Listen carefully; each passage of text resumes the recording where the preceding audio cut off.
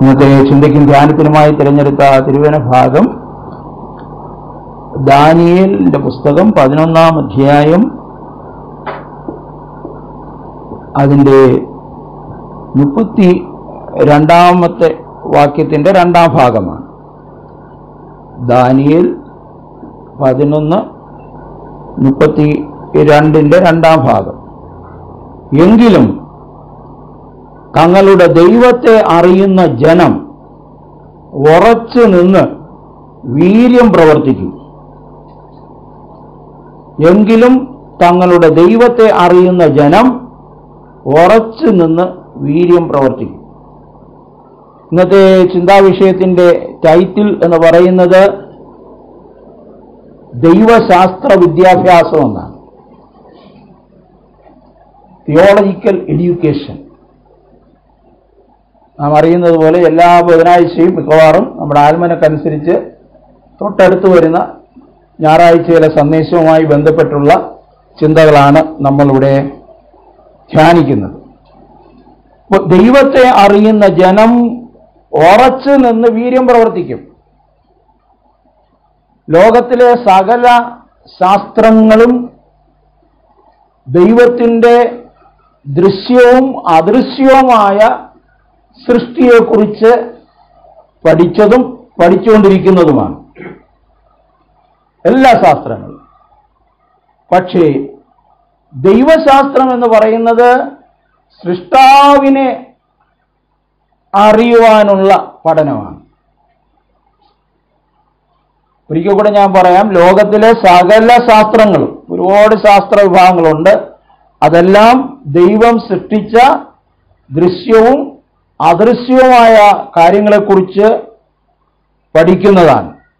കണ്ടെത്തലുകൾ നടത്തുന്നതാണ് എന്നാൽ ദൈവശാസ്ത്രം എന്ന് പറയുന്നത് സൃഷ്ടാവായ ദൈവത്തെ അറിയുക അതിനുവേണ്ടിയുള്ള പഠനമാണ് അപ്പോൾ ദൈവശാസ്ത്രത്തിന്റെ പഠനം ആവശ്യമുണ്ടോ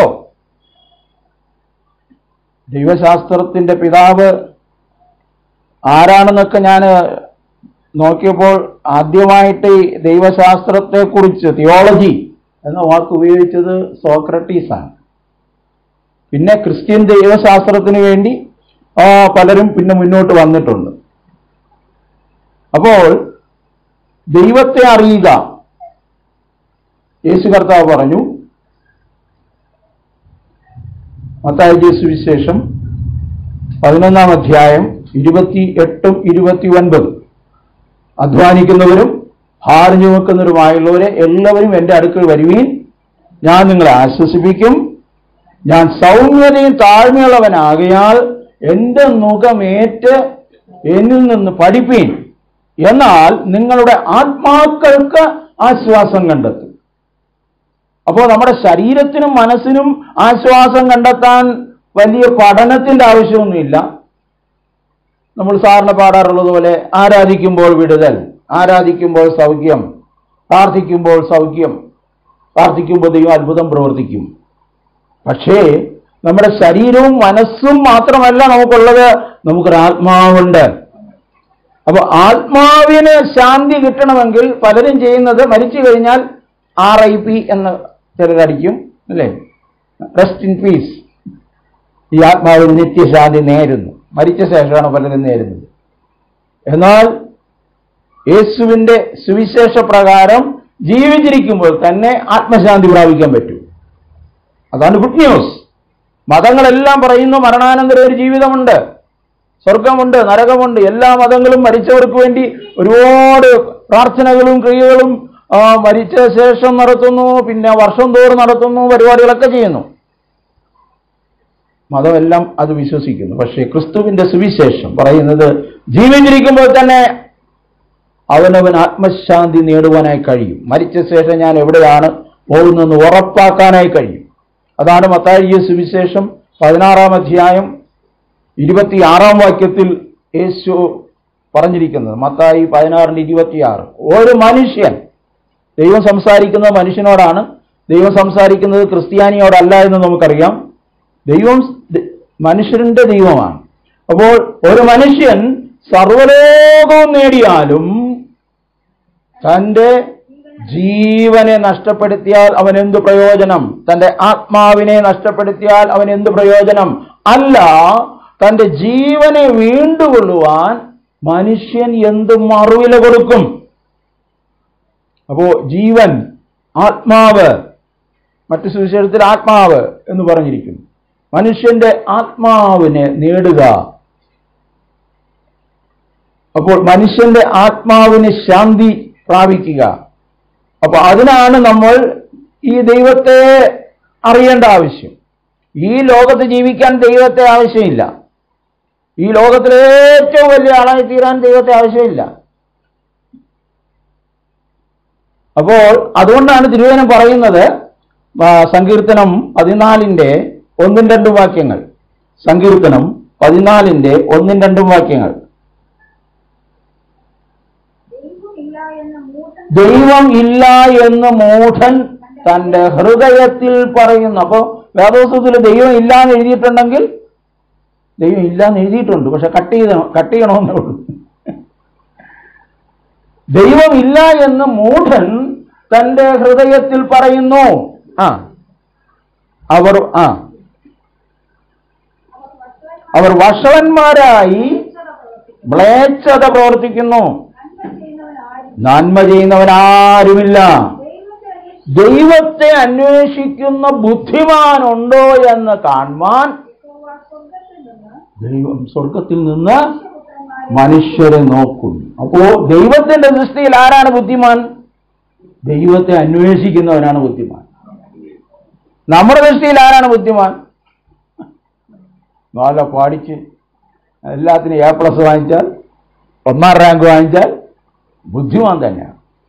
ഒരിടത്തും തോക്കാതെ ജയിച്ച് ജയിച്ച് ജയിച്ച് ജയിച്ച് കയറിപ്പോയാൽ ബ്രില്യൻ്റാണ് അല്ലേ പക്ഷെ ദൈവത്തിൻ്റെ തന്നെ ഇതിൽ ബുദ്ധിമാൻ എന്ന് പറയുന്നവൻ ദൈവത്തെ അന്വേഷിക്കുന്നവൻ ദൈവത്തെ അന്വേഷിക്കുക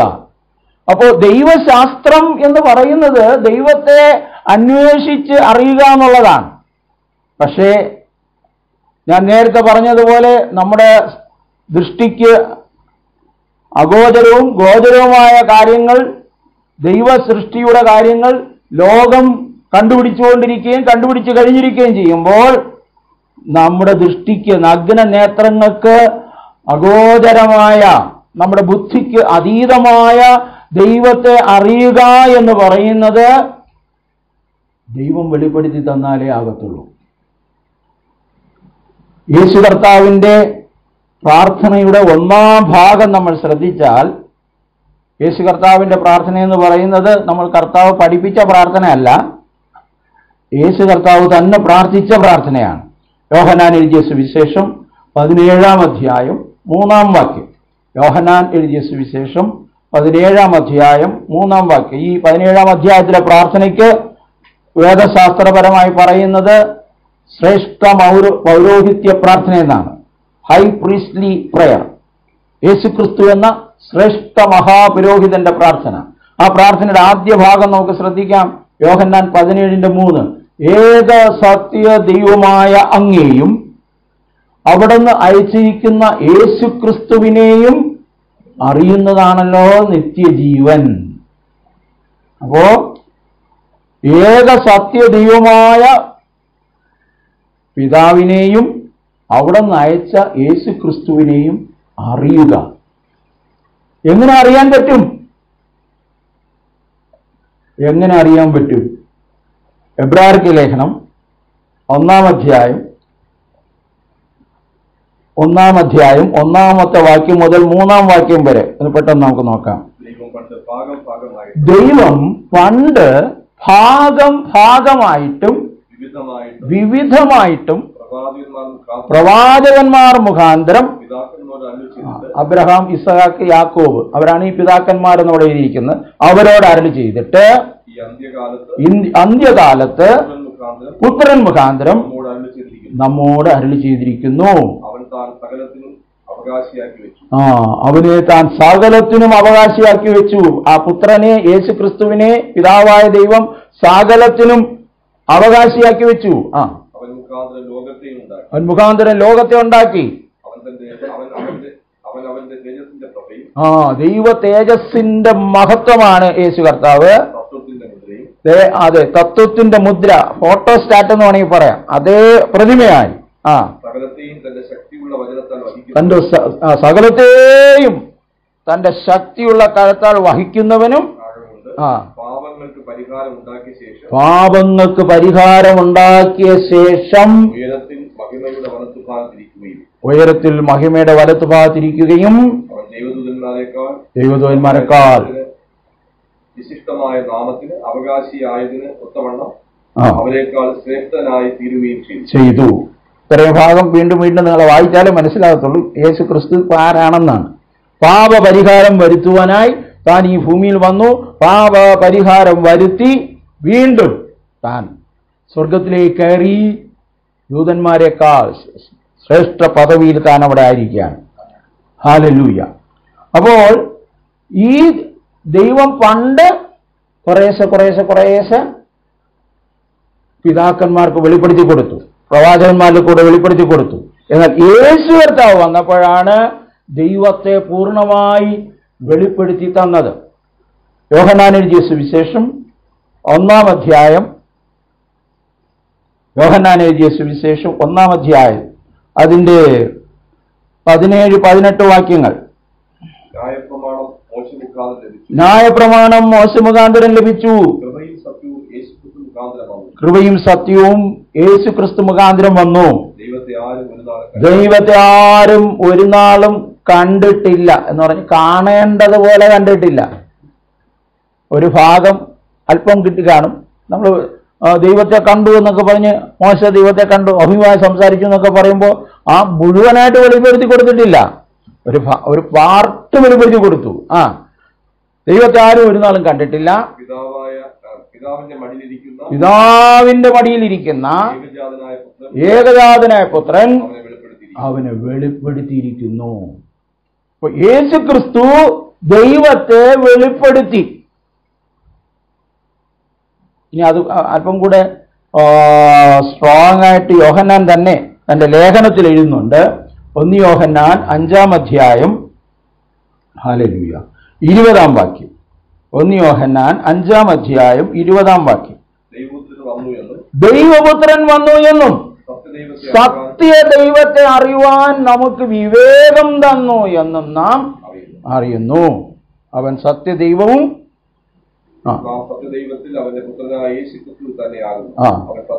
സത്യദൈവവും നിത്യജീവനും ആകും സത്യദൈവം നിത്യജീവനുമാകും ഈ ദൈവം എന്ന് പറയുമ്പോൾ ഒരു കുഴപ്പമില്ല കാരണം അതൊരു കോമൺ ആണ് എല്ലാവരും ഈശ്വര ഭഗവാനെ ദൈവമേ എന്നൊക്കെ വിളിക്കുന്നു അപ്പൊ ഈ ദൈവത്തോടു കൂടെ ചില വിശേഷണങ്ങൾ ചേർക്കുമ്പോഴാണ് പ്രശ്നം വരുന്നത് മറ്റൊരുത്തനിലും രക്ഷയില്ല രക്ഷിക്കപ്പെടാൻ ആകാശത്തിന് കീഴ് ഭൂമിക്ക് മീതെ നൽകപ്പെട്ട വേറെ ഒരു നാമവും ഇല്ല എന്ന് പറയുമ്പോഴാണ് പ്രശ്നം രക്ഷ എല്ലാത്തിലും ഉണ്ടെന്ന് പറഞ്ഞാൽ പ്രശ്നമില്ല യേശു ക്രിസ്തുവിലും രക്ഷയുണ്ട് യേശു ക്രിസ്തുവിലും രക്ഷയുണ്ടെന്ന് പറഞ്ഞാൽ നോ പ്രോബ്ലം അപ്പോൾ ഇവിടെയാണ് ദൈവശാസ്ത്ര പഠനത്തിൻ്റെ ഗൗരവം നമ്മൾ മനസ്സിലാക്കേണ്ടത് ദൈവശാസ്ത്ര പഠനം വലിയൊരു വിഷയമാണ് പക്ഷേ ഞാൻ എല്ലാത്തിലേക്കും കടന്നു പോകുന്നില്ല എല്ലാം നമുക്ക് വഹിക്കാൻ പറ്റത്തില്ല മാത്രമല്ല ഇപ്പോൾ എല്ലാം നമ്മൾ അറിയേണ്ട ഇല്ല അപ്പോൾ ദൈവം നമുക്ക് വെളിപ്പെടുത്തി തന്നാലേ ദൈവത്തെ അറിയുവാനായി കഴിയത്തുള്ളൂ പഴയ നിയമകാലത്ത് ദൈവം തന്റെ ജനത്തെ നേരിട്ട് ഇടപെട്ട സന്ദർഭങ്ങൾ നമുക്കറിയാം ഏതേന്തോട്ടത്തിൽ ആദാമിനോട് സഭയോടും ദൈവം നേരിട്ട് ഇടപെട്ടിരുന്നു പക്ഷേ അവർ ദൈവത്തോട് അനുസരണക്കേട് കാണിച്ചു കാരണം ദൈവം മനുഷ്യനെ ഒരിക്കലും റിമോട്ട് കൺട്രോൾ വെച്ച് നിയന്ത്രിക്കുന്നില്ല മനുഷ്യൻ ഫ്രീ ആണ് അവന് തിരഞ്ഞെടുക്കുവാനുള്ള സ്വാതന്ത്ര്യം അന്നു മുതൽ ഇന്ന് വരെയും നൽകിയിരിക്കുന്നു കാര്യങ്ങളെല്ലാം വ്യക്തമാക്കി പറഞ്ഞിട്ട് വെളിപ്പാട് പുസ്തകം അവസാനിപ്പിച്ചിരിക്കുന്നത് എങ്ങനെയാണ് അനീതിയുള്ളവൻ ഇനിയും അനീതി ചെയ്യട്ടെ അഴുക്കുള്ളവൻ ഇനിയും അഴുക്കാടട്ടെ നീതിമാൻ നീതി പ്രവർത്തിക്കട്ടെ വിശുദ്ധൻ ഇനിയും തന്നെ തന്നെ വിശദീകരിക്കട്ടെ ഇതാ ഞാൻ വേഗം വരുന്നു ഓരോരുത്തനും അവനവന്റെ പ്രവൃത്തിക്ക് തക്കവണ്ണം കൊടുപ്പാൻ പ്രതിഫലം എന്റെ പക്കൽ ഉണ്ട് കാര്യങ്ങൾ ഇങ്ങനെയാണ് നിങ്ങൾക്ക് തീരുമാനിക്കാം ഇതാ ദൈവം അല്ല ദൈവം ഏകാധിപതിയായി സ്വേച്ഛാധിപതിയായിരുന്ന് എല്ലാം ഭരിക്കുന്ന ഒരുവനല്ല താൻ വെളിപ്പെടുത്തി തരേണ്ട കാര്യങ്ങൾ എല്ലാം വെളിപ്പെടുത്തി നൽകിയിരിക്കുന്നു ഇവിടെ ഒരു ഭാഗം എൻ്റെ മനസ്സിൽ പെട്ടെന്ന് വരികയാണ് സഭാപ്രസംഗി സഭാപ്രസംഗി മൂന്നാം അധ്യായം പത്തും പതിനൊന്നും വാക്യങ്ങൾ സഭാപ്രസംഗി മൂന്നാമത് ജ്ഞാനികളിൽ ജ്ഞാനിയായ ശലവുമോൻ എഴുതിയിരിക്കുന്ന ഒരു ഭാഗമാണ് വായിക്കാം ദൈവം മനുഷ്യർക്ക് കഷ്ടപ്പെടുവാൻ കൊടുത്തിരിക്കുന്ന കഷ്ടപ്പാട് ഞാൻ കണ്ടിട്ടുണ്ട് ദൈവം സകലതും അതതിന്റെ സമയത്ത് ഭംഗിയായി ചെയ്ത് നിത്യതയും മനുഷ്യരുടെ ഹൃദയത്തിൽ വെച്ചിരിക്കുന്നു എങ്കിലും ദൈവം ആദ്യോടന്തം ചെയ്തത് ചെയ്യുന്ന പ്രവൃത്തിയെ ഗ്രഹിക്കാൻ അവർക്ക് കഴിവില്ല ഗ്രഹിക്കാൻ കഴിവുമില്ല ഗ്രഹിക്കാൻ മനസ്സുമില്ല ദൈവത്തെ അന്വേഷിച്ചാലല്ലേ അത് മനസ്സിലാക്കാൻ പറ്റും അപ്പോൾ ദൈവം മനുഷ്യന്റെ ജീവിതത്തിൽ കഷ്ടപ്പാടുണ്ട് യേശു എന്നിട്ട് പറഞ്ഞ എന്താണ് ലോകത്തിൽ നിങ്ങൾക്ക് കഷ്ടമുണ്ട് ആർക്ക് ദൈവമക്കളായി ജീവിക്കുന്നവർക്ക് ലോകക്കാരായി ജീവിക്കുന്നവർക്ക് ഒരു കുഴപ്പമില്ല ആരാടിച്ച് പൊളിച്ച് ജീവിക്കുന്നു വളരെ റെയറായിട്ട് മാത്രമേ ചിലർക്കൊക്കെ ഭയങ്കര രോഗങ്ങളൊക്കെ വരുന്നുള്ളൂ അല്ലേ സുഖമായിട്ട് അവർ ജീവിക്കുക അവർക്ക് ദൈവ വിചാരമില്ല അല്ലെങ്കിൽ സത്യ ദൈവത്തെ അല്ല അവർ ആരാധിക്കുന്നു അവർ ജഡത്തിൻ്റെ ശരീരത്തിൻ്റെ മനസ്സിൻ്റെ സുഖം മാത്രമേ അന്വേഷിക്കുന്നുള്ളൂ ആത്മീക മേഖലയിൽ അവർ സീറോയാണ് അവർ ഈ ജീവിതമാണ് ഏറ്റവും വലുത് അടിച്ച് പൊളിച്ച് ജീവിക്കുക ജീവിതം ഒന്നേ ഉള്ളൂ ആസ്വദിക്കുക മരിക്കുമ്പോൾ അങ്ങ് ചാവും അതോടുകൂടെ എല്ലാം തീരും എന്ന് വിചാരിക്കുന്നവരാണ് പക്ഷെ ദൈവമക്കളായ നമുക്കറിയാം ഈ ലോകജീവിതം പരദേശവാസമാണ് പ്രവാസികളാണ് അല്പകാലം മാത്രമാണ് ഈ ലോകത്തിലെ വാസം കൂടിപ്പോയാൽ എൺപതോ തൊണ്ണൂറോ നൂറോ പക്ഷെ അനന്തമായൊരു ജീവിതമുണ്ട് രണ്ട് ജീവിതമാണ് അനന്തമായിട്ടുള്ളത് നിത്യജീവൻ നിത്യദണ്ഡനം അല്ലെങ്കിൽ നിത്യ നരകം നിത്യ നരകത്തിൽ നിന്ന് രക്ഷിപ്പാനായിട്ടാണ് അത് നിത്യജീവനുമായി കർത്താവ് വന്നത് നിത്യജീവനായി കർത്താവ് വന്നത് അതനു അത് വിശ്വസിച്ച് ജീവിക്കുന്ന ദൈവമക്കൾക്ക് കഷ്ടമുണ്ട് പക്ഷേ കഷ്ടതയിലും പാടുവാൻ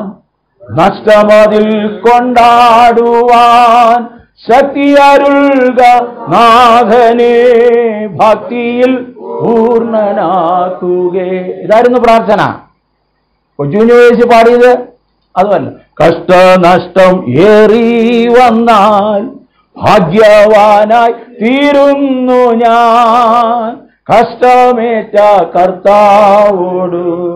കൂട്ടാളിയായി തീരുന്നു ഞാൻ നിനക്ക് പാടണമെങ്കിൽ ഇത് മരണം വീട്ടിലെ സാറിന് പാടാറുള്ളൂ അല്ലേ ഇത് കഷ്ടം അനുഭവിക്കുമ്പോഴാണ് പാടുന്നത് കാരണം കഷ്ടം അനുഭവിക്കുമ്പോഴാണ് പാടാൻ പറഞ്ഞിരിക്കുന്നത് അല്ലേ ആണോ യാക്കോവിന്റെ ലേഖനത്തിൽ പെട്ടെന്ന് നോക്കാം യാക്കോവിന്റെ ലേഖനം അതിൻ്റെ അഞ്ചാം അധ്യായത്തിൽ വരുമ്പോൾ പതിമൂന്ന് പ്രാർത്ഥിക്കട്ടെ ആ പാട്ട് പാടട്ടെ ഓ കഷ്ടം അനുഭവിക്കുമ്പോൾ പാട്ടുകയും വേണം പ്രാർത്ഥിക്കുകയും വേണം അപ്പോൾ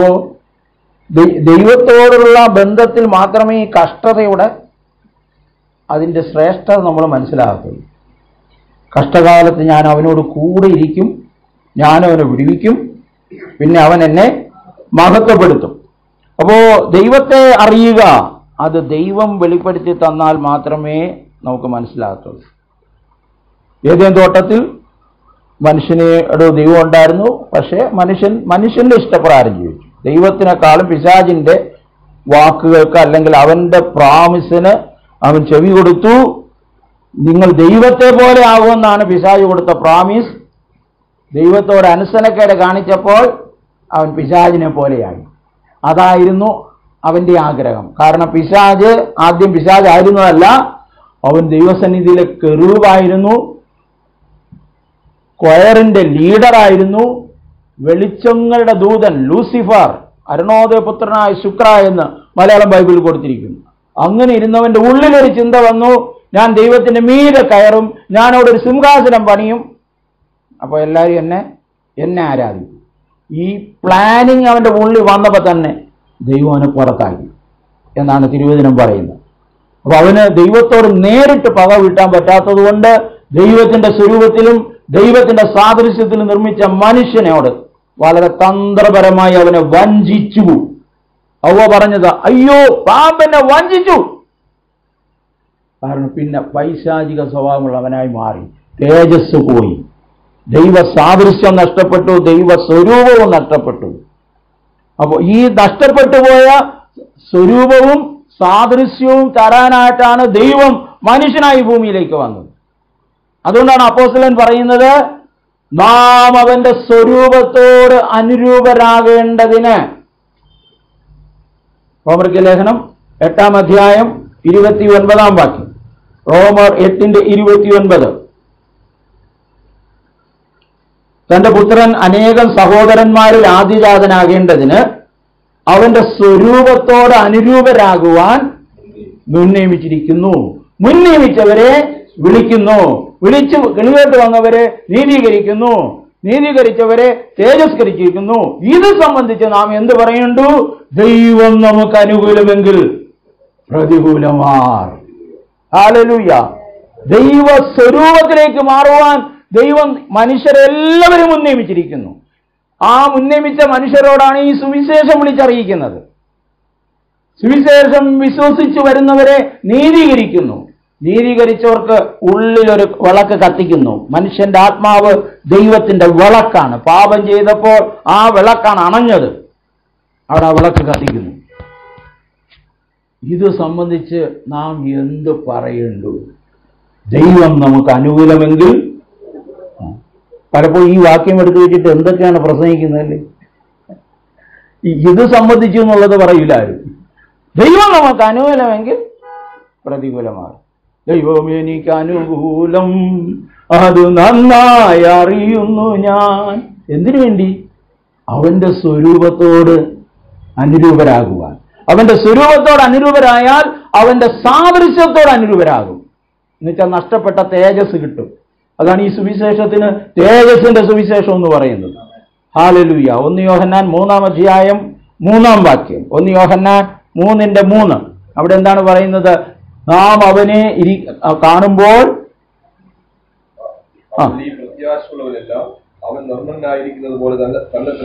നിർമ്മലീകരിക്കും അതിന്റെ തൊട്ട് മുകളിലത്തെ വായിക്കും രണ്ടാം വായിക്കാം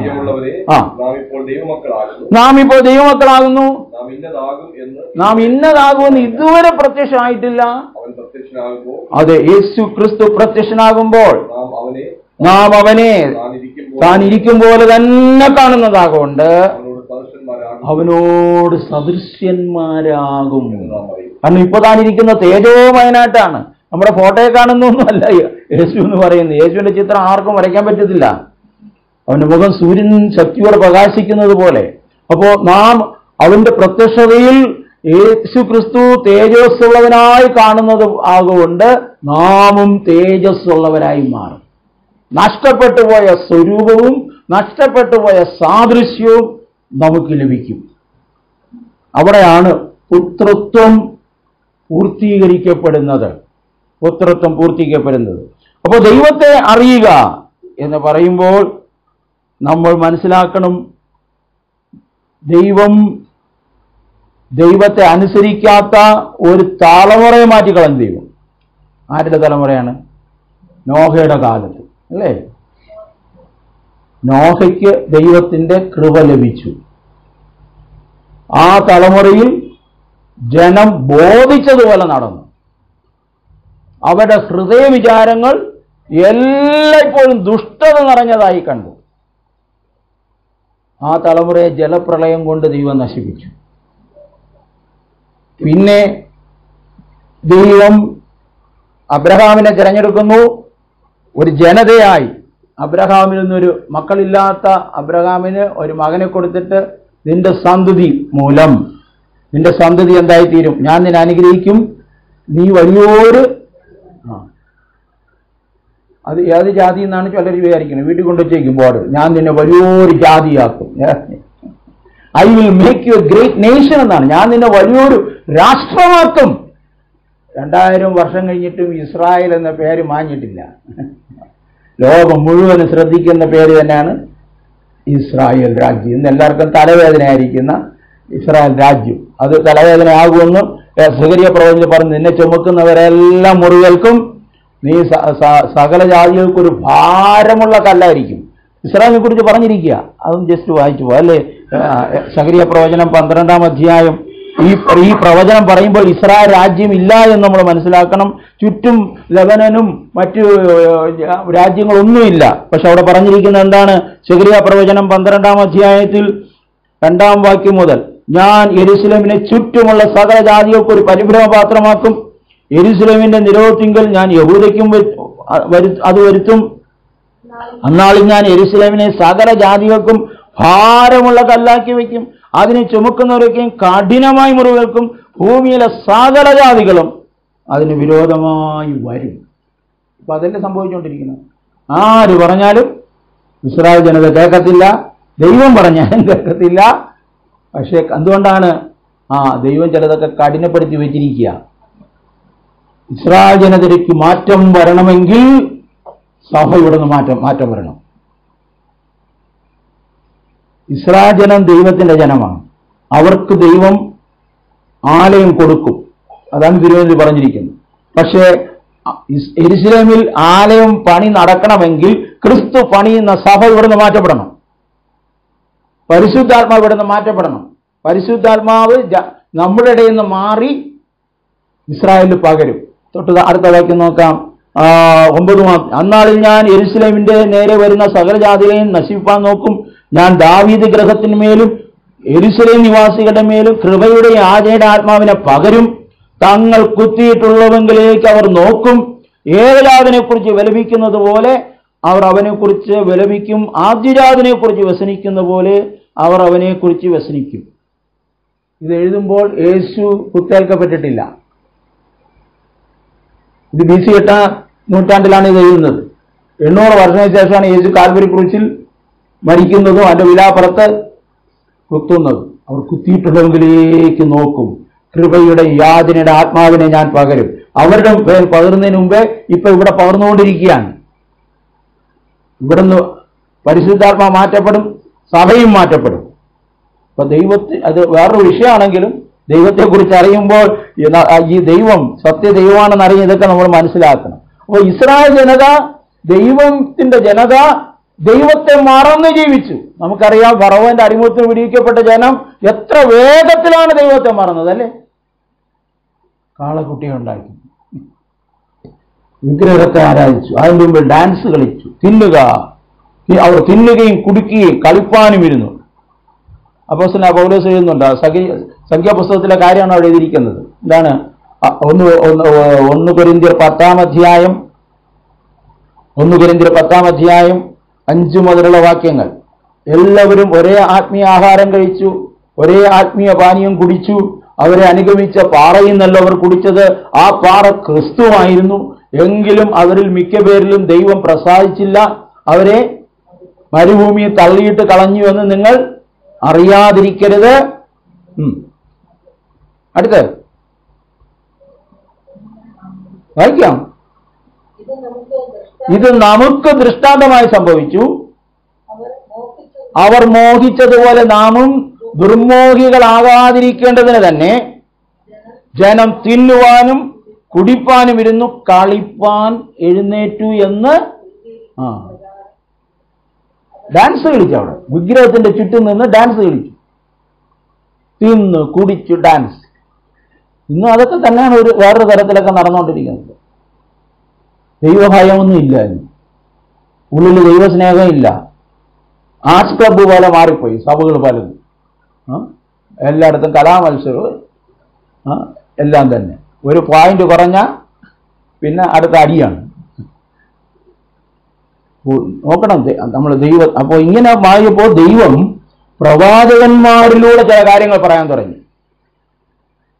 നമ്മൾ ദൈവത്തെ അറിയുമ്പോൾ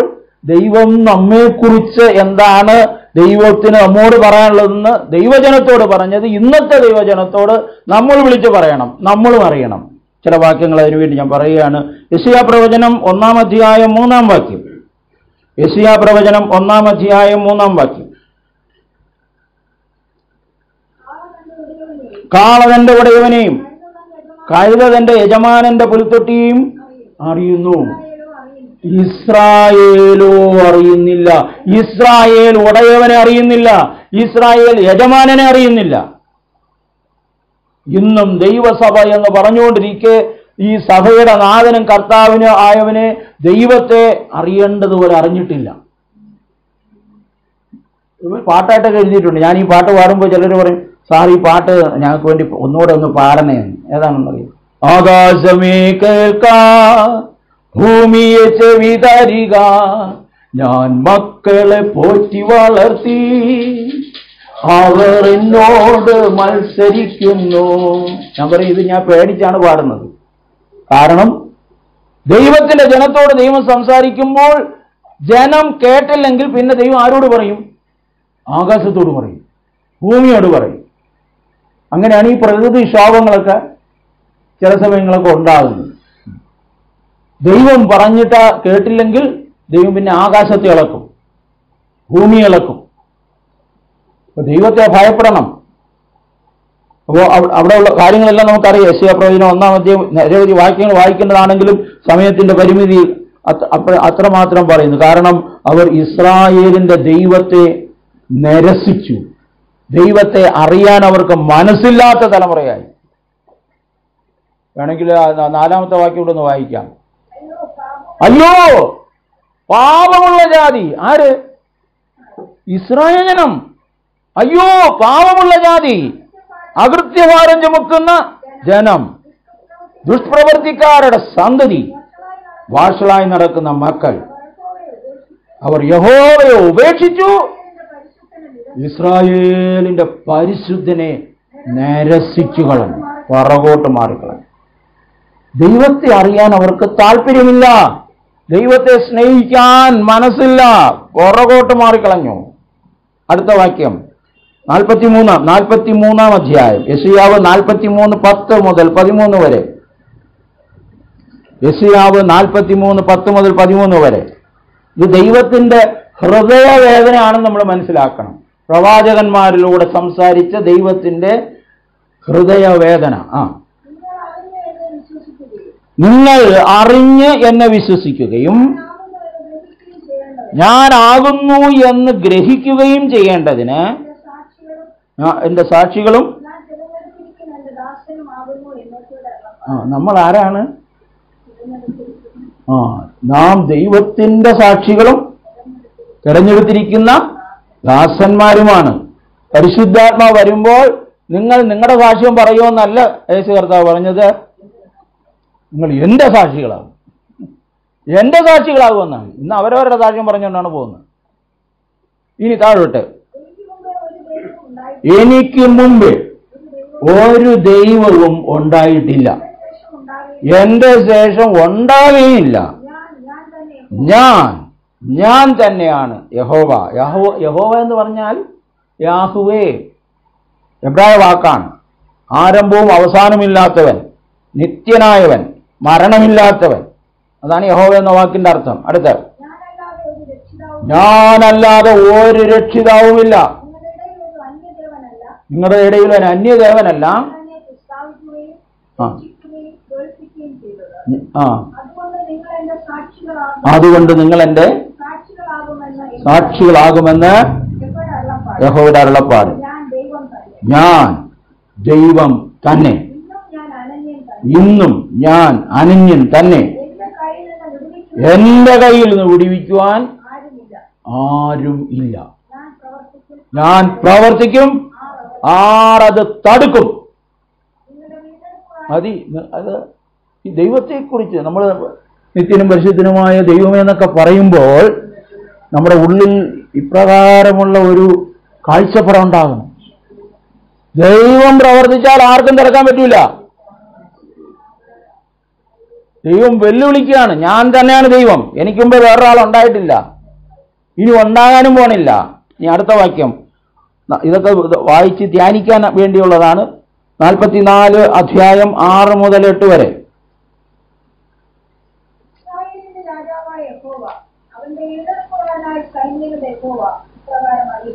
ആ ഞാൻ ആദ്യനും അന്ത്യനുമാകുന്നു ഞാനല്ലാതെ ഒരു ഇല്ല ആ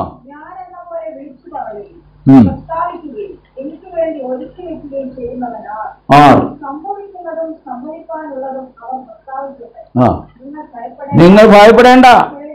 പേടിക്കുകയും വേണ്ട പണ്ട് തന്നെ ഞാൻ നിന്നോട് പ്രസ്താവിച്ച് കഴിപ്പിച്ചിട്ടില്ലയോ നിങ്ങൾ എന്റെ സാക്ഷികളാവുന്നു ഞാനല്ലാതെ ഒരു ദൈവമുണ്ടോ ഒരു പറയില്ല ഞാൻ വേറെ ഒരുത്തനെ അങ്ങനെ അറിയുന്നില്ല ആ ഭാഗം പിന്നെ പിന്നെ വായിച്ചോണ്ടാ മതി അപ്പോൾ ഇതിൻ്റെ അടുത്തൊരു ഭാഗം ഇതെല്ലാം നോട്ട് ചെയ്ത് ധ്യാനിക്കുക ദയവായി നാൽപ്പത്തി അഞ്ചിൻ്റെ ആറ് ഇസിയാവ് നാൽപ്പത്തി അഞ്ചിൻ്റെ ആറ് പ്രവാചകന്മാർ മുഖാന്തരം ദൈവം തൻ്റെ ജനത്തോട് എങ്ങനെ സംസാരിച്ചു എന്നാണ് അവിടെ പറഞ്ഞിരിക്കുക നാൽപ്പത്തഞ്ചിൻ്റെ ആറ് സൂര്യോദത്തിങ്കിലും ഉള്ളവൻ ഞാനല്ലാതെ മറ്റൊരുത്തനുമില്ല എന്ന് അറിയേണ്ടതിന് തന്നെ ഞാൻ യഹോവയാകുന്നു മറ്റൊരുത്തനുമില്ല ഞാൻ പ്രകാശത്തെ നിർമ്മിക്കുന്നു അന്ധകാരത്തെയും സൃഷ്ടിക്കുന്നു ഞാൻ നന്മയെ ഉണ്ടാക്കുന്നു തിന്മയെയും സൃഷ്ടിക്കുന്നു യഹോവയായി ഞാൻ ഇതൊക്കെയും ചെയ്യുന്നു ആകാശമേ മേലിൽ നിന്ന് പൊഴിക്ക മേഘങ്ങൾ നീതി വർഷിക്കട്ടെ രക്ഷ വിളയേണ്ടതിന് ഭൂമി തുറന്നു വരട്ടെ അത് നീതിയെ മുളപ്പിപ്പാനും യഹോവയായ ഞാൻ അത് സൃഷ്ടിച്ചിരിക്കുന്നു ഇനി ഇരുപത്തി ഒന്നാം അധ്യായം ഇരുപത്തി അഞ്ചാം വാക്യം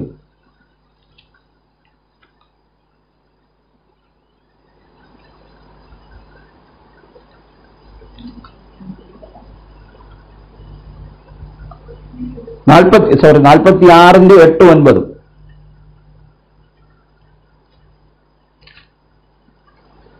നാൽപ്പത്തി ആറിന്റെ എട്ട് ഒൻപതും എന്തൊരു സംബോധനയല്ലേ ഇത് ഓർത്ത് സ്ഥിരത കാണിപ്പിൻ ദ്രോഹികളെ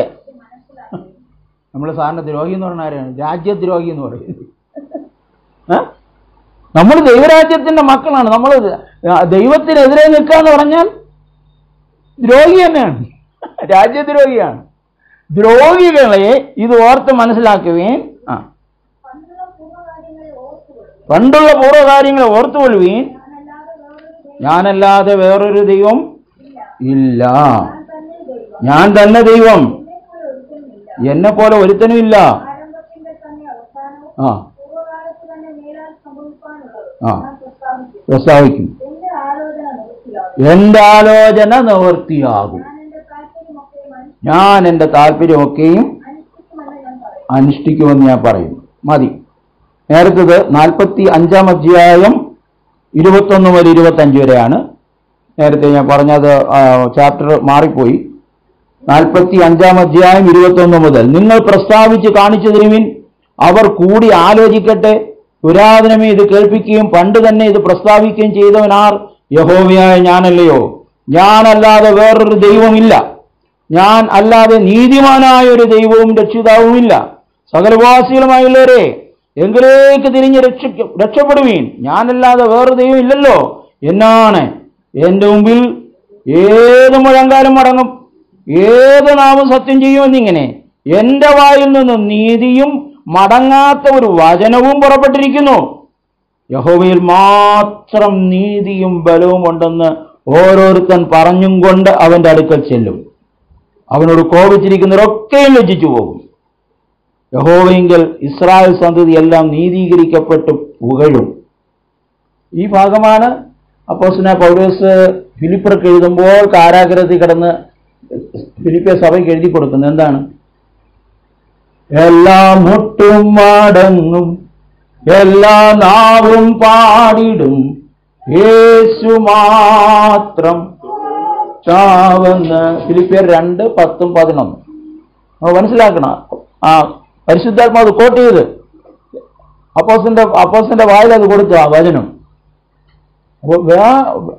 എല്ലാം ഒട്ടും മടങ്ങും എല്ലാ നാവും പറയും യേശു കർത്താവെന്ന് രക്ഷയ്ക്കായിട്ടല്ല അത് ജീവിച്ചിരിക്കുമ്പോൾ പറയണം മരിച്ച് അത് യേശു കർത്താവ് വരുമ്പോൾ പറയുന്നതാണ് പിതാവായ ദൈവത്തിന് ദൈവത്തിൻ്റെ മഹത്വത്തിനായി പറയേണ്ടി വരും ഇന്ന് അംഗീകരിക്കാതെ ഈ ലോകം വിട്ടു പോയവരും ഇന്ന് ഇതൊന്നും അംഗീകരിക്കാതെ ഈ ലോകത്ത് ജീവിക്കുന്നവരും ഇത് ഒരു നാളിൽ പറയും യേശു മാത്രം കർത്താവ് യേശു മാത്രം കർത്താവ് എന്തുകൊണ്ട് ഇതൊക്കെ നമ്മുടെ സഭകളിൽ പഠിപ്പിക്കപ്പെടുന്നില്ല ദൈവശാസ്ത്രം വികലമാക്കപ്പെട്ടു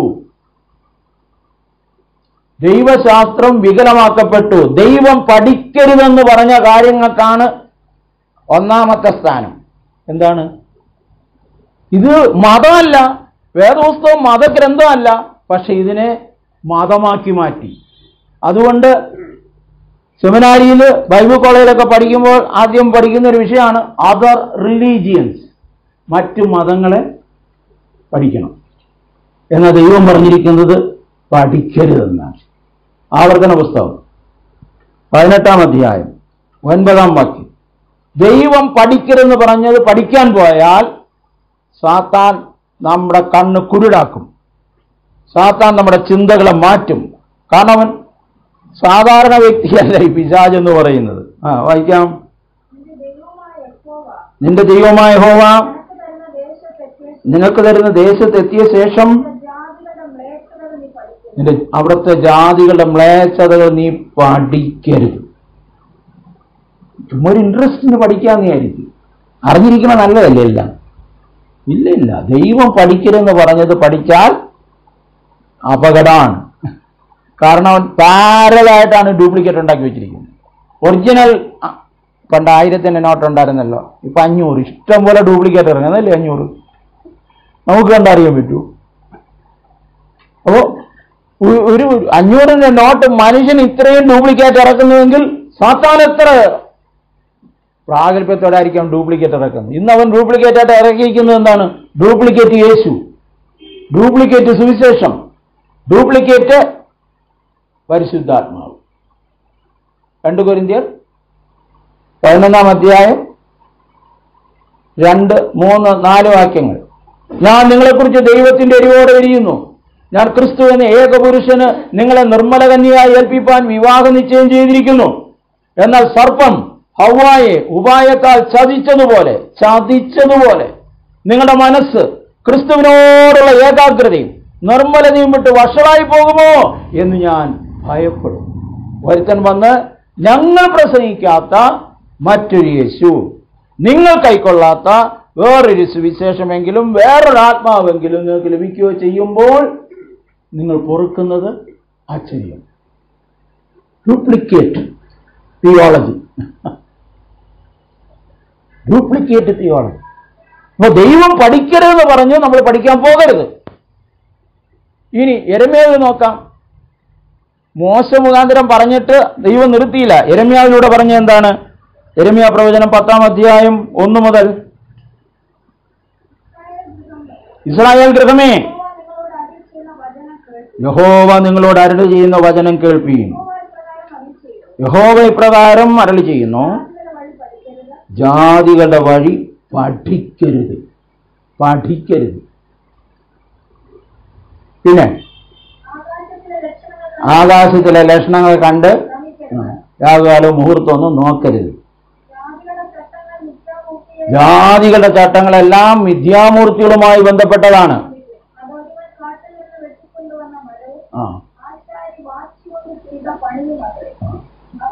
നമ്മുടെ ദൈവം സൃഷ്ടാവാണ് ഇതെല്ലാം സൃഷ്ടികളാണ് മനുഷ്യനുണ്ടാക്കിയ സൃഷ്ടികൾ ഞാൻ ഈ സന്ദേശത്തെക്കുറിച്ച് താരാക്കൊണ്ടിരിക്കുമ്പോൾ പെട്ടെന്ന് എൻ്റെ മോള് പറഞ്ഞു കമലഹാസൻ ദൈവത്തെക്കുറിച്ചൊരു സ്റ്റേറ്റ്മെൻ്റ് നടത്തിയിട്ടുണ്ട് കമലഹാസൻ മനുഷ്യന്റെ ഏറ്റവും വലിയ സൃഷ്ടിയാണ് ദൈവം man's greatest creation is God ഇതിന് വചനം ഉണ്ടോ ഒന്ന് നമുക്ക് നോക്കാം റോമർഗീയ ലേഖനം ഒന്നാം അധ്യായം ഹാലലുയ ഇരുപത്തിമൂന്നാമത്തെ വാക്യം റോമർ ഒന്നിന്റെ ഇരുപത്തിമൂന്ന് അക്ഷയനായ ദൈവത്തിന്റെ തേജസ്സിനെ ക്ഷയമുള്ള മനുഷ്യൻ പക്ഷി നാൽക്കാലി ഇഴജാതി എന്നിവയുടെ രൂപസാദൃശ്യത്തിലാക്കി മാറ്റി അവിടെ ഒരു അവർ ഉണ്ടല്ലേ ഈ ആരാണ് ഈ അവർ പതിനെട്ടാം വാക്യത്തിലേക്ക് പോവാം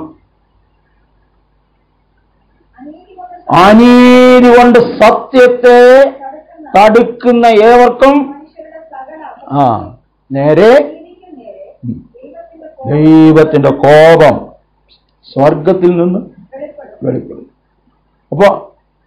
അനീതി കൊണ്ട് സത്യത്തെ തകർ തടുക്കുന്നവർ എന്തു ചെയ്തു പിശാജ് അവരെ ഉപയോഗിച്ചു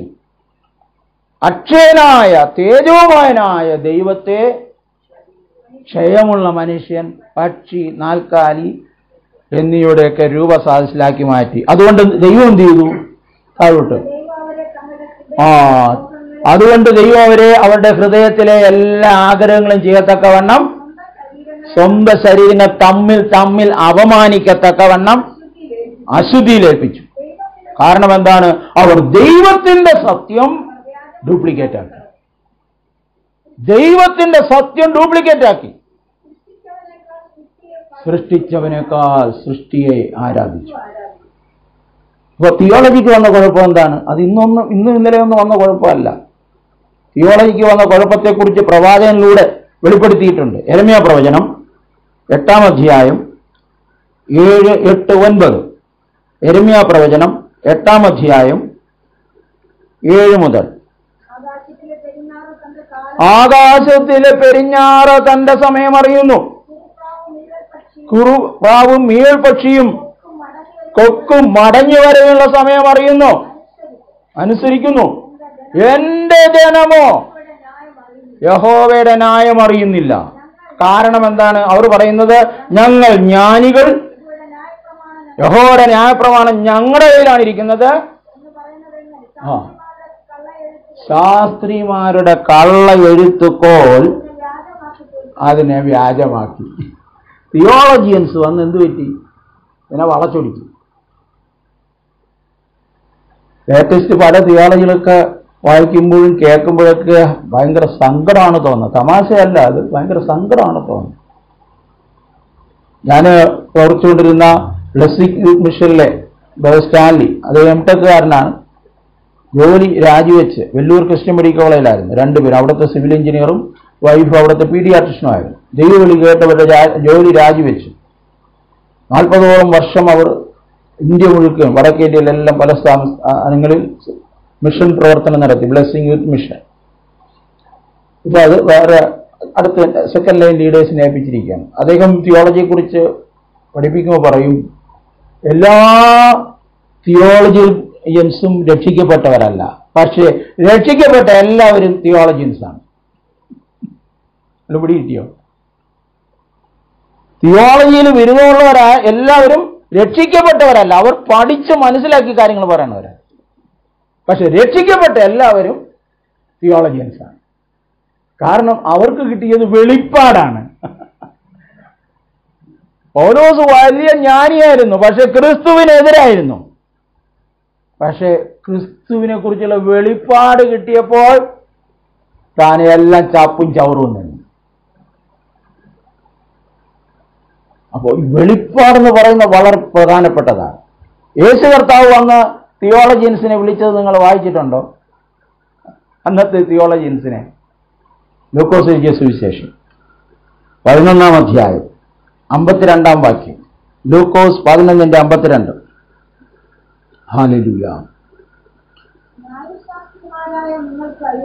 ന്യായശാസ്ത്രിമാരെ നിങ്ങൾക്ക് അയ്യോ കഷ്ടം നിങ്ങൾ പരിജ്ഞാനത്തിന്റെ താക്കോൽ എടുത്തു കളഞ്ഞു നിങ്ങൾ തന്നെ കടക്കുന്നില്ല കടക്കുന്നവരെ തടുത്തും കളഞ്ഞു എവിടെയെങ്കിലും പോയി വചനം കേട്ട് ആ ഇത്തിരി നേരെയായിട്ട് വിചാരിച്ച വിടൂല ഇവിടെ മതി പേടി മാർത്തോമാ സഭകളിൽ നോക്കിക്കഴിഞ്ഞാൽ മിക്കവാറും എല്ലാവരുടെയും വീട്ടിൽ കൂട്ടായ്മകളുണ്ട് അവിടെ അച്ഛനൊന്നുമല്ല ലീഡ് ചെയ്യുന്നത് അവർ കൂടി ഇരുന്ന് വചനം പഠിക്കും അവർ ദൈവകൃപയിൽ നിൽക്കും പള്ളി അവിടെ ഇരിക്കും ഞായറാഴ്ച പള്ളിയിൽ പോകും സീസ് അച്ഛ അറിഞ്ഞ ഡി കെ അറിഞ്ഞ കുഴപ്പമാണ് ഒന്നുമില്ല ഇവരെ കടക്കുന്നില്ല മറ്റുള്ളവരെ കടക്കാൻ സംഭവിക്കുക താക്കോലും പൂട്ടി ഇവർ വെച്ചുകൊണ്ടിരിക്കുകയാണ് അയ്യോ കഷ്ടമെന്നാണ് അവരെ നോക്കി കർത്താവ് പറഞ്ഞത് ഇത് ആത്മീയമായ ഒരു പ്രകാശനത്തിൽ ഇതിൻ്റെ സീരിയസ്നെസ് ദൈവം നമുക്ക് മനസ്സിലാക്കി തരട്ടെ കാരണം നമ്മെ ദൈവം ഏൽപ്പിച്ചിരിക്കുന്ന കഴിഞ്ഞ ആഴ്ച നമ്മൾ ചിന്തിച്ചു ദൈവീക മർമ്മങ്ങളെയാണ് ദൈവീക മർമ്മങ്ങളുടെ ഗൃഹവിചാരകന്മാരായാണ് ദൈവം നമ്മെ ആക്കി വച്ചിരിക്കുന്നത് ഒന്ന് പത്രോസ് നാലാം അധ്യായം പത്താം വാക്യം ഒന്ന് പത്രോസ് നാലിൻ്റെ പത്ത് ഹാലലുയ ഓരോരുത്തന് വരം ലഭിച്ചതുപോലെ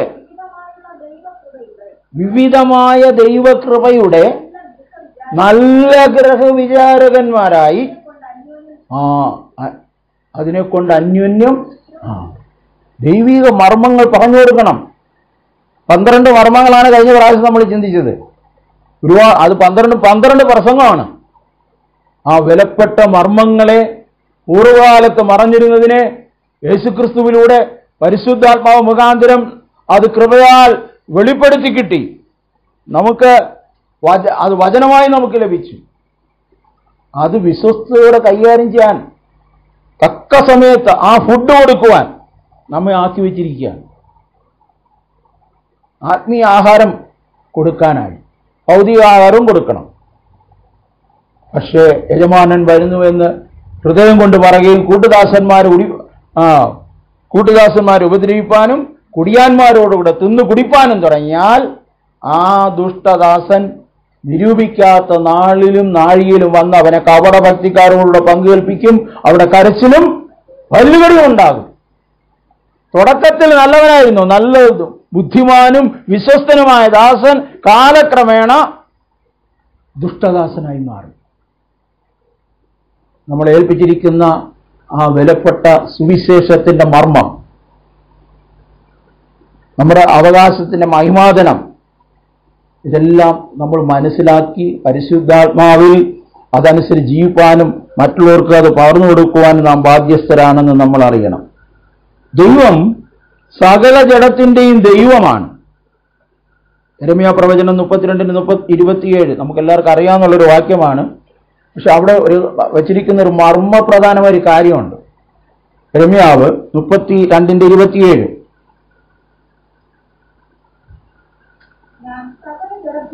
ഞാൻ സകല ജഡത്തിന്റെയും ദൈവമല്ലോ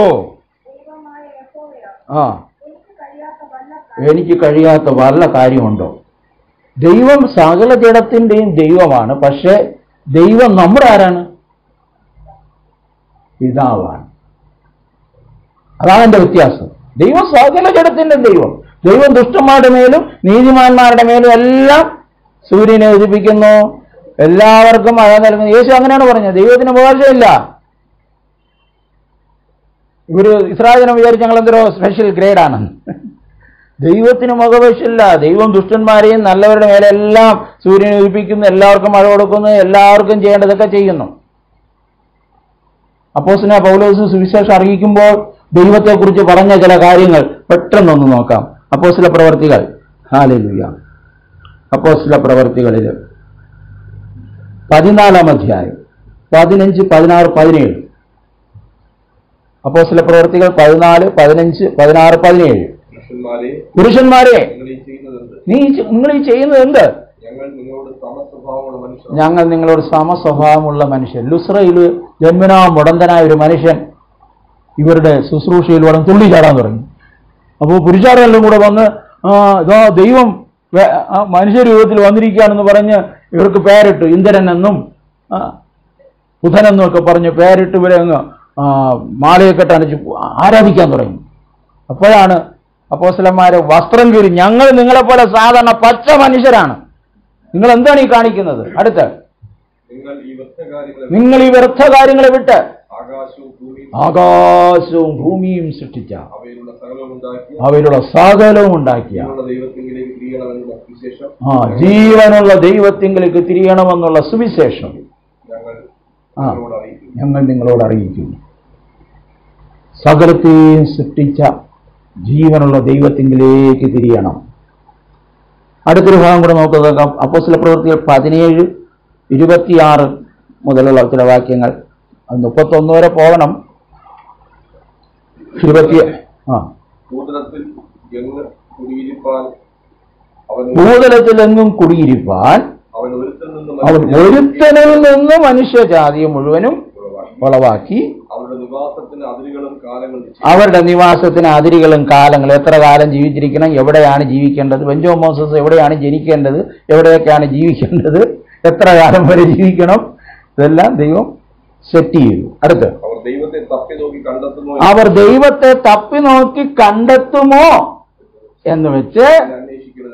ആ അന്വേഷിക്കേണ്ടതിന് വേണ്ടിയാണ് നമ്മിൽ അകന്നിരിക്കുന്നവനല്ല ആ അവനല്ലോ നാം ജീവിക്കുകയും ചരിക്കുകയും ചെയ്യുന്നതെന്ന് ആ നിങ്ങളുടെ മറ്റുള്ളവർ ആ ജാതികളായിട്ടുള്ളവർ നാം അവന്റെ സന്താനമല്ലോ എന്നൊക്കെ കവി എഴുതിയിട്ടുണ്ടല്ലോ ആ നാം ദൈവത്തിന്റെ സന്താനം എന്ന് വരികയാൽ നാം ദൈവത്തിന്റെ സന്താനം എന്ന് വരികയാൽ ദൈവം മനുഷ്യന്റെ ശില്പവിദ്യയും സങ്കല്പവും കൊണ്ട് കൊത്തിത്തീർക്കുന്ന പൊൻ വെള്ളി കല്ല് എന്നിവയോട് സദസ്യമെന്ന് നിരൂപിക്കേണ്ടതല്ല നിരൂപിക്കേണ്ടതല്ല എന്നാൽ അറിയായ്മയുടെ കാലങ്ങളെ ഇനിയുള്ളതാണ് ഇപ്പോൾ എന്നാൽ അറിയായ്മയുടെ കാലങ്ങളെ ദൈവം ലക്ഷ്യമാക്കാതെ അഥവാ കണക്കിലെടുക്കാതെ ഇപ്പോൾ എല്ലായിടത്തും എല്ലാവരും മാനസാന്തരപ്പെടണമെന്ന് മനുഷ്യരോട് കൽപ്പിക്കുന്നു എന്തിനാണ് മാനസാന്തരം മാനസാന്തരപ്പെട്ടില്ലെങ്കിൽ എന്ത് സംഭവിക്കും അതാണ് അടുത്ത വാക്യം ആ ദൈവം നിയമിച്ച പുരുഷൻ അതാ യേശു ക്രിസ്തു മുഖാന്തരം ലോകത്തെ നീതിയോടെ ന്യായം വിധിപ്പാൻ ഒരു ദിവസത്തെ നിശ്ചയിച്ചിരിക്കുന്നു എന്താണ് അതിന്റെ ഗ്യാരണ്ടി ഗ്യാരണ്ടി എന്താണ് രണ്ടായിരം വർഷമായില്ലേ ഈ ദുരിതനം പറഞ്ഞിട്ട് ഗ്യാരണ്ടി എന്താണ് അടുത്ത് ആ യേശുവിനെ മരിച്ചവരിൽ നിന്ന് ഉയർത്തെഴുന്നേൽപ്പിച്ചതിനാൽ എല്ലാവർക്കും അതിന്റെ ഉറപ്പ് നൽകിയിരിക്കുക ഗ്യാരണ്ടിയാണ് യേശു മരിച്ചങ്ങ് പോയില്ല യേശു മരിച്ച് ഉയർത്തെഴുന്നേറ്റു കഴിഞ്ഞ ദിവസം ഞാനൊരു മരണ വീട്ടിൽ പോയി മരണ വീട്ടിൽ പോയി സംസാരിച്ചുകൊണ്ടിരിക്കുമ്പോൾ ആ മരിച്ച വ്യക്തിയുടെ മോള് ചോദിക്കണം സാറേ സ്വർഗവും നരകൊക്കെ ഇവിടെ തന്നെ അല്ലേ കേട്ടപ്പോൾ ഞാൻ ഞെട്ടിപ്പോയി കാരണം അപ്പം സുവിശേഷവേലക്കാരനാണ് മോള് പറയാണ് സ്വർഗവും നരകം ഇവിടെ തന്നെ പിന്നെ അവിടെ കുറേ കാര്യങ്ങൾ പറയേണ്ടി വന്നു ഞാൻ ചോദിച്ചു യേശു മരിച്ചിട്ട് അവിടെ പോയി എന്ന് ആലോചിക്കണം അവിടെ പോയി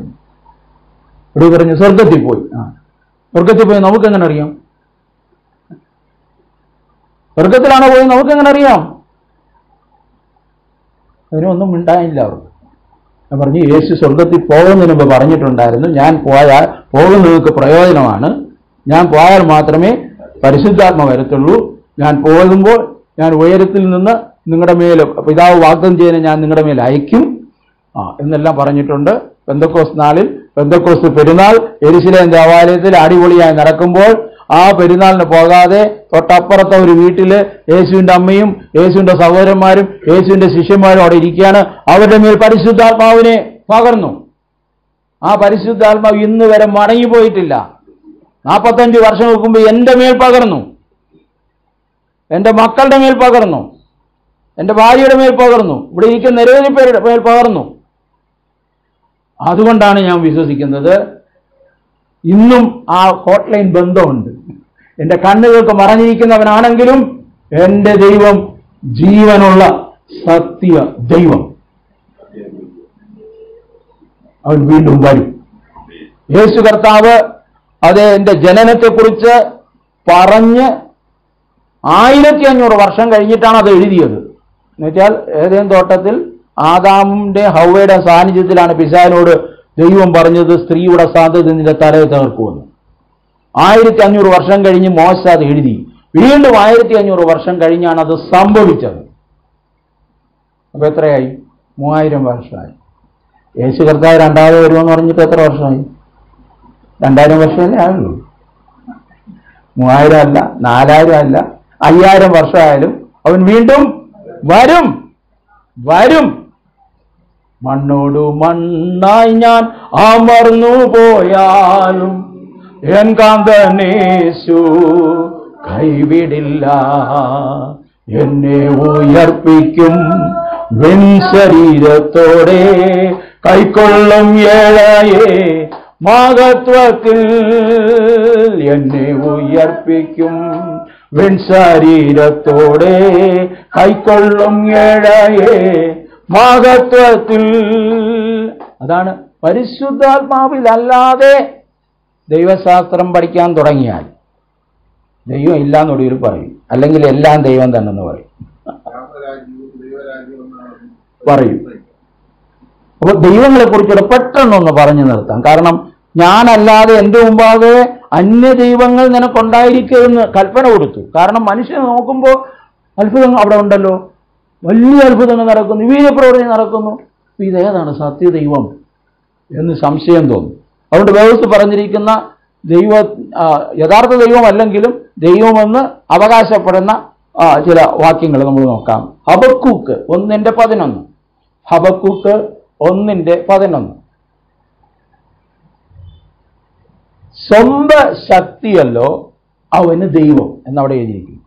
അവിടുത്തെ അവനെന്ന് പറഞ്ഞിരിക്കുന്നത് ദുഷ്ടനാണ് അതിൻ്റെ മുകളിൽ നിന്ന് വായിച്ചു വരുമ്പോൾ നമുക്ക് മനസ്സിലാവും ദുഷ്ടന് സ്വന്തം ശക്തിയാണ് ദൈവം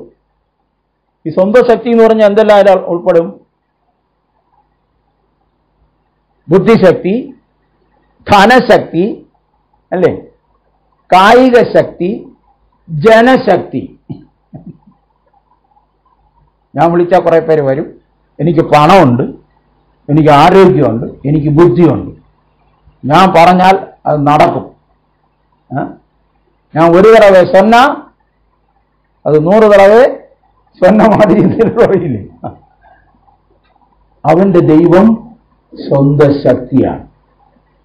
അത് എപ്പോഴും നശിച്ചു എന്ന് അവൻ അറിയുന്നില്ല പലരും മനസ്സിൽ വെച്ചിരിക്കുന്നത് ദുഷ്ടം പനപോലെ പോലെ തഴയ്ക്കുമെന്നാണ് അല്ലേ അങ്ങനെ ഇല്ല പക്ഷെ അതിന്റെ തൊട്ടടുത്ത് ആ ആ ഭാഗം ഒന്ന് വായിച്ചു പോകണം നമ്മൾ തൊണ്ണൂറ് ആ തൊണ്ണൂറ് തൊണ്ണൂറ് സങ്കീർത്തനം വായിക്കാം നമ്മൾ വായിച്ചിട്ട് വായിക്കുന്നത് നല്ലതാണ് തൊണ്ണൂറ്റി രണ്ട് ഏഴാം വാക്യം ദുഷ്ടന്മാർ പുല്ലുപോലെ മുളയ്ക്കുന്നതും നീതികേട് പ്രവർത്തിക്കുന്നവരൊക്കെയും തഴയ്ക്കുന്നത് എന്നേക്കും നശിച്ചു പോകുന്നതിനാണ് അപ്പൊ ദുഷ്ടൻ എങ്ങനെയാണ് മുളയ്ക്കുന്നത് പുല്ല് പോലെ മഴ പെയ്ത പുല്ല് മുളയ്ക്കും കാടായിരിക്കുന്നത് അതുകൊണ്ടാണ് പറഞ്ഞിരിക്കുന്നത് വേദോസം പറയുന്നത് സകല ജഡവും പുല്ല് തന്നെ ഓടാ പുല്ലേ എന്ന് വിളിച്ചാൽ അവൻ ദൈവവചനാണ് ഉപയോഗിക്കുന്നത് നമ്മൾ നമ്മൾ ദേഷ്യപ്പെടണ്ട ഇല്ല ഇല്ലേ കാരണം ദൈവം പഴയതല്ലാത്തതെല്ലാം പുല്ലിന് സമമാണ് ദുഷ്ടൻ പുല്ലുപോലെ താഴച്ചു വളരും എന്നാൽ അടുത്ത നോക്കുക പന്ത്രണ്ടാം വാക്യം നീതിമാൻ വന പോലെ തഴയ്ക്കും ലബാനോനിലെ ദേവദാരു പോലെ വളരും രണ്ടിന്റെ വ്യത്യാസം നമ്മൾ മനസ്സിലാക്കണം രണ്ടാമത്തെ ദൈവം ഗലാത്തിരക്ക ലേഖനം നാലാം അധ്യായം എട്ടാം വാക്യം ജലാത്തിരക്ക് ലേഖനം നാലാം അധ്യായം എട്ടാം വാക്യം എന്നാൽ അന്ന് നിങ്ങൾ ദൈവത്തെ അറിയാതെ സ്വഭാവത്താൽ ദൈവങ്ങളല്ലാത്തവയ്ക്ക് അടിമപ്പെട്ടിരുന്നു എന്നാൽ ഇപ്പോൾ നിങ്ങൾ ദൈവത്തെ അറിഞ്ഞും വിശേഷാൽ ദൈവം നിങ്ങളെ അറിഞ്ഞുമിരിക്കെ ഇനിയും നിങ്ങൾ പഴയ ആ വായിക്കാം ബലഹീനവും ദരിദ്രവുമായ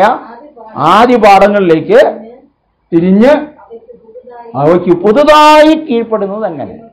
കാരണം എന്താ നിങ്ങൾ ദിവസങ്ങളും മാസങ്ങളും ആണ്ടുകളും ഒക്കെ പിന്നെയും പ്രമാണിക്കുകയാണ് ഒരു ദൈവവേദന അതിൻ്റെ ആവശ്യമൊന്നുമില്ല പ്രത്യേക ദിവസമൊന്നും ഇല്ല നമുക്ക് ഡെയിലി ലൈഫാണ് നമുക്ക് എല്ലാ ദിവസവും പരിശുദ്ധ ദിവസമാണ് എല്ലാ ദിവസവും ക്രിസ്തീയ ജീവിതമാണ് വിശുദ്ധ ജീവിതമാണ് അപ്പോൾ സ്വഭാവത്താൽ ദൈവങ്ങളല്ലാത്തവ അങ്ങ് ഒറ്റ അടച്ചിട്ട് പറയുകയാണ് എല്ലാ മതങ്ങളിലും നമ്മൾ ശ്രദ്ധിച്ചാൽ അവിടെ സ്വഭാവത്തിനൊന്നും വലിയ പ്രസക്തിയില്ല വിശുദ്ധരായിരിക്കണമെന്നില്ല വിശ്വാസികളായിരുന്നാൽ മതി വിശ്വാസികൾ ആയിരുന്നാൽ മതി അപ്പോൾ ആ സ്വഭാവത്താൽ ദൈവങ്ങളല്ലാത്തവയുടെ ഉറവിടമാണ് സാത്താൻ ഈ ലോകത്തിന്റെ ദൈവം രണ്ട് കുരിന്തിർ നാലിന്റെ നാല് ഈ ലോകത്തിന്റെ ദൈവം അടുത്ത ദൈവം ഫിലിപ്പിയർ മൂന്നിന്റെ പതിനെട്ട് ഫിലിപ്പിയർ മൂന്നിന്റെ പതിനെട്ട് ഞാൻ പലപ്പോഴും നിങ്ങളോട് പറഞ്ഞതുപോലെ അനേകർ ക്രിസ്തുവിന്റെ ക്രൂശിന് ശത്രുക്കളായി ആ ഇപ്പോ ഞാൻ കരഞ്ഞും കൊണ്ട് പറയുന്നു അവരുടെ അവരുടെ അവസാനം നാശമാണ് അവരുടെ ദൈവം വയറാണ് ലജ്ജയായ കാര്യങ്ങളിലെല്ലാം അവർക്ക് മാനം തോന്നുന്നു അവർ ഭൂമിയിലുള്ളത് മാത്രമാണ് ചിന്തിക്കുന്നത് ഈ വയറ് ദൈവമായിരിക്കുന്നവരെ കണ്ടാൽ തിരിച്ചറിയാൻ എളുപ്പമാണ് ഞാൻ ചിലപ്പോൾ ഇങ്ങനെ പറയാറുണ്ട് ചിലർക്ക് മധ്യപ്രദേശിനെ കുറിച്ച് മാത്രമേ ആരമുള്ളൂ മധ്യപ്രദേശ് തിന്നുക കുടിക്കുക അതിനാണ് ഇമ്പോർട്ടൻസ് അപ്പോൾ അവർ ഭൂമിയിലുള്ളത് മാത്രം ചിന്തിക്കുന്നു വയറ്റപ്പഴുപ്പിന് വേണ്ടി ദൈവത ചെയ്യുന്നു ഇല്ല നമ്മുടെ പൗരത്വമോ സ്വർഗത്തിലാകുന്നു നമ്മുടെ കർത്താവായ യേശു രക്ഷിതായി വരുമെന്ന് നാം കാത്തിരിക്കുന്നു അടുത്ത വാക്യമാണത്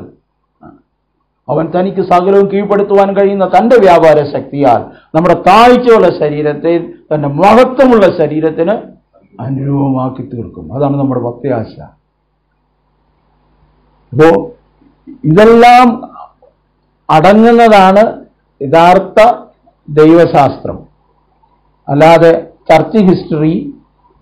എത്തിക്സ് മാസ് കമ്മ്യൂണിക്കേഷൻ പിന്നെ എന്താ കണ്ടത് കൗൺസിലിംഗ് അപ്പോ ഇത് ഒരിടത്ത് മാത്രമുള്ള അപകടമല്ല ഇന്ന് ഈ ദൈവീക മർമ്മങ്ങൾ ദൈവം ആരാണ് എന്നുള്ളത് വ്യക്തമായി നമുക്ക് തന്നിട്ടുള്ളത് യേശു കർത്താവ് വെളിപ്പെടുത്തി തന്നിരിക്കുന്നു നമ്മൾ യേശുവിനെ വിശ്വസിക്കുന്നുവെങ്കിൽ യേശു കർത്താവ് കാര്യം പറഞ്ഞ കാര്യങ്ങൾ നമ്മൾ വിശ്വസിക്കണം യേശുവിനും വിശ്വാസമില്ല ദൈവത്തിലും വിശ്വാസമില്ല ഇത് കർത്താവ് നേരത്തെ പറഞ്ഞാണ് മനുഷ്യപുത്രം വരുമ്പോൾ വിശ്വാസം കണ്ടെത്തുമോ അപ്പോൾ തിയോളജി അതിൻ്റെ ട്രാക്ക് വിട്ട് വല്ലാത്തൊരവസ്ഥയിലേക്ക് പോയിരിക്കുമ്പോൾ നമ്മൾ ദൈവത്തിൻ്റെ വചനത്തിനെ ആധാരമാക്കി നമ്മുടെ വിശ്വസ്ത വിശുദ്ധ ജീവിതം നമ്മൾ ഗൗരവമായി നമ്മൾ കാണണം അതുകൊണ്ട് രണ്ട് തിമത്യോസ് മൂന്നാം അധ്യായത്തിൽ ഈ തിരുവഴുത്തിനെ കുറിച്ച് പറയുന്നത് ഇപ്രകാരമാണ് നമുക്കൊന്ന് വായിക്കാം പന്ത്രണ്ട് മുതൽ രണ്ട് തിമത്യോസ് മൂന്നിൻ്റെ പന്ത്രണ്ട് മുതൽ ദുഷ്ട മനുഷ്യരും മായാവികൾ അന്നേ ഉണ്ടല്ലേ മായാവി ഞാൻ വിചാരിച്ചു ഈ ലുട്ടാപ്പി മായാവി ഇപ്പോഴിറങ്ങിയ സാധനം എന്നാണ് വിചാരിച്ചത്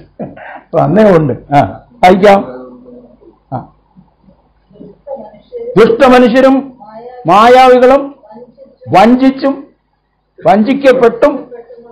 ആ മേൽക്കുമേൽ ദോഷത്തിൽ മുതിർന്നു വരും പക്ഷെ നീയോ ഇന്നവരോട് പഠിച്ചുവെന്ന് ഓർക്കുകയും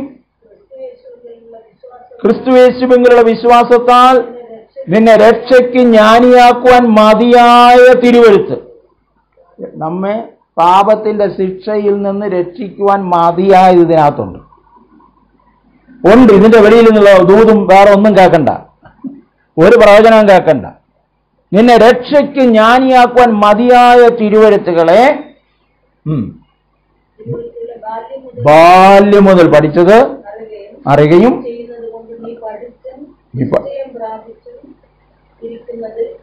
നിലനിൽക്ക അപ്പൊ പഠിച്ചും നിശ്ചയം പ്രാപിക്കണം ഇന്ന് പഠനവും നിശ്ചയമൊന്നും ഇല്ല അതാണ് പഠിച്ചാലല്ലേ ശരിയാവുള്ളൂ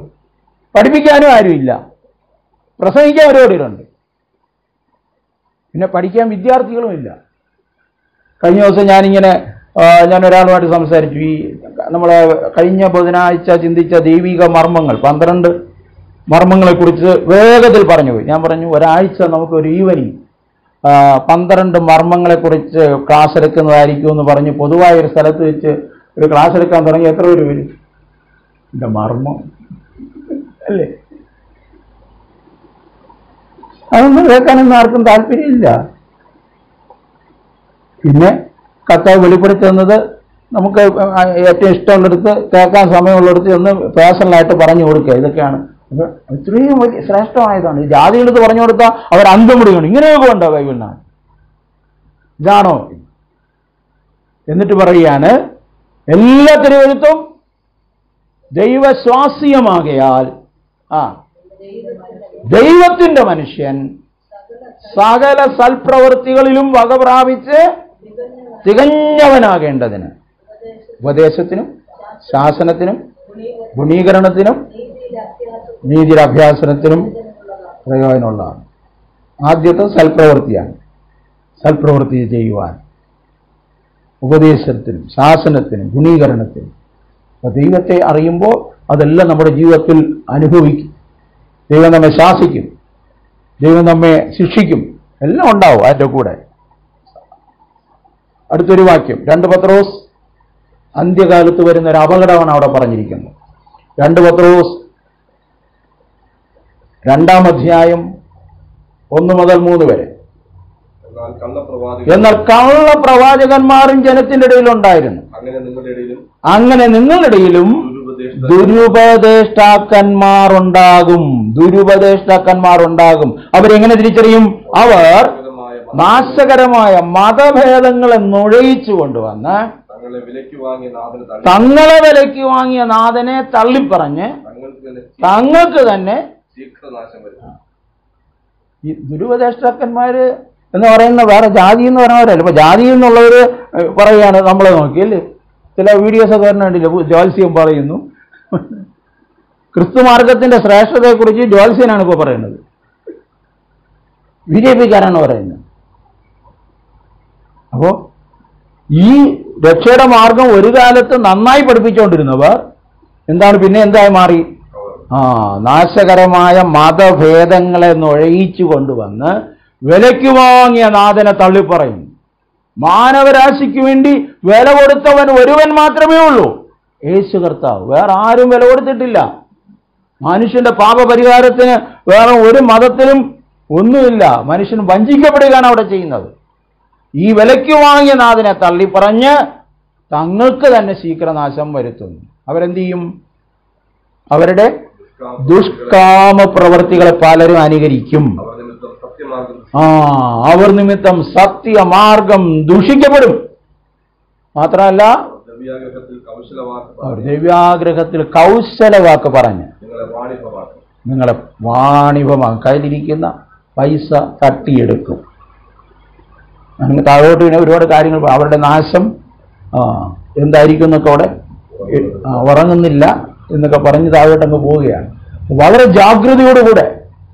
ജീവിക്കേണ്ട ഒരു കാലഘട്ടം അപ്പൊ ഇവിടെ പൗലോസിന്റെ ഒരു പ്രാർത്ഥനയാണ് ലാസ്റ്റിലായിട്ട് ദൈവാത്മാ എനിക്കൊരു പ്രകാശ പ്രകാശനം തന്നത് എഫേസ്യർക്ക് ലേഖനം ഒന്നാം അധ്യായം പതിനേഴാം വാക്യത്തിൽ എഫേസ്യർ ഒന്നിന്റെ പതിനേഴ് പൗലോസ് പ്രാർത്ഥിക്കുകയാണ് എന്താണ് നിങ്ങളെ ഓർത്തുകൊണ്ട് നമ്മുടെ കർത്താവായ യേശു ക്രിസ്തുവിന്റെ ദൈവവും പിതാവുമായവൻ അല്ലെ മഹത്വമുള്ള പിതാവുമായവൻ നിങ്ങൾക്ക് തന്നെ കുറിച്ചുള്ള പരിജ്ഞാനത്തിൽ ജ്ഞാനത്തിന്റെയും വെളിപ്പാടിന്റെയും ആത്മാവിനെ തരണം ഇതാണ് തിയോളജി ആ ഇതാണ് തിയോളജി ദൈവം വെളിപ്പെടുത്തരണം ആ വാക്കുകളൊക്കെ അല്ലേ നമ്മുടെ കർത്താവിന്റെ രക്ഷാതാവുമായ ക്രിസ്തുവിന്റെ യേശുക്രിസ്തുവിന്റെ ദൈവവും മഹത്വമുള്ള പിതാവുമായവൻ തന്നെ കുറിച്ചുള്ള പരിജ്ഞാനത്തിൽ ജ്ഞാനത്തിൻ്റെയും വെളിപ്പാടിന്റെ ആത്മാവിനെ തരണം അങ്ങനെ നമ്മുടെ ഹൃദയദൃഷ്ടി പ്രകാശിക്കണം നമ്മുടെ ഹൃദയദൃഷ്ടി പ്രകാശിച്ചിട്ട് നമ്മെ എന്തിനാണ് ദൈവം ഈ ഭൂമിയിൽ ആക്കി വെച്ചിരിക്കുന്നത് ആ വിളിയാൽ ആശ ഇന്നതെന്ന് അറിയേണ്ടതിനും വിശുദ്ധന്മാരിൽ അവൻ അവർ നമ്മുടെ അവകാശത്തിന്റെ മഹിമാതനം ഇന്നതെന്നും ആ ദൈവത്തിന്റെ ബലത്തിന്റെ വലുപത്വത്തിന്റെ വ്യാപാരത്താൽ വിശ്വസിക്കുന്ന നമുക്ക് വേണ്ടി വ്യാപരിക്കുന്ന തന്റെ അളവറ്റ ശക്തിയുടെ വലിപ്പം ഇന്നതെന്നും അറിയേണ്ടതിന് പ്രാർത്ഥിക്കുന്നു എന്താണ് അളവറ്റ വല്ലഭത്തെ അവളെ ശക്തി താഴ്ത്തു പറയുക തന്റെ പുനരുദ്ധാനത്തിന്റെ ശക്തി എല്ലാം അവസാനിപ്പിച്ചു അവന്റെ കാര്യം തീർന്നു എന്ന് സന്തോഷിക്കുമ്പോൾ അവിടെ ഉയർത്തെഴുന്നേക്കാണ് ഇത് നമ്മൾ അറിയണം ഇനി ഒരു രക്ഷയില്ല ബ്രദർ ഇനി ഒരു രക്ഷയില്ല ബ്രദർ ഇല്ല രക്ഷയുണ്ട് രക്ഷയുണ്ട് നമ്മുടെ കർത്താവ് പുനരുദ്ധാനം ചെയ്തവനാണ് മരണത്തിന്റെയും പാതാളത്തിന്റെ താക്കോൽ തന്റെ കൈവശമാണ് ഹാലലൂയ ഹാലലൂയ അതുകൊണ്ട് ദൈവത്തിന്റെ മഹത്വം അറിഞ്ഞ് ദൈവത്തെ സേവിക്കുവാൻ ദൈവശാസ്ത്രം വിട്ടുപോയാൽ പോയാൽ അത് ദുരുപദേശമാകും ഇന്ന് ദുരുപദേശം ഏതാണ് വിപരീതോപദേശം ഏതാണ് ശരിയായ ഉപദേശം എന്താണ് ഭൂതങ്ങളുടെ ഉപദേശം എന്താണെന്നൊന്നും തിരിച്ചറിയാൻ കഴിയുന്നില്ല അതിന് ദൈവവചനം പഠിക്കുന്നതാണ് ദൈവശാസ്ത്രം ദൈവത്തെ ദൈവാത്മാവിൽ ദൈവം വെളിപ്പെടുത്തരുന്നതാണ് ആ നിലയിൽ നമ്മുടെ ശുശ്രൂഷകന്മാരും നമ്മുടെ സഭയിലെ ഓരോ ദൈവമക്കളും ആത്മീകമായി വളരേണ്ടതിന് ദൈവം കൃപ ചെയ്യട്ടെ പ്രാർത്ഥനയ്ക്കായിട്ട് നമുക്ക് നമ്മെ തന്നെ ഒരുക്കാം